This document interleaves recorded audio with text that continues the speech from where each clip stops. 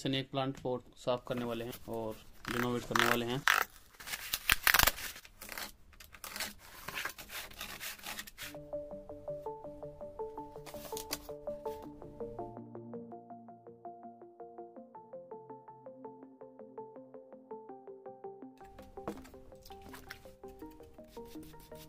हैं